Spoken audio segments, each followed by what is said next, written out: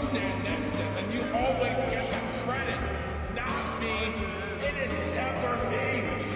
The Red said most of you guys did great at the end. It never included me. Those you chill about who's will but I don't care. And nobody else cares. No matter what I do, no matter how hard I try, I always fall short.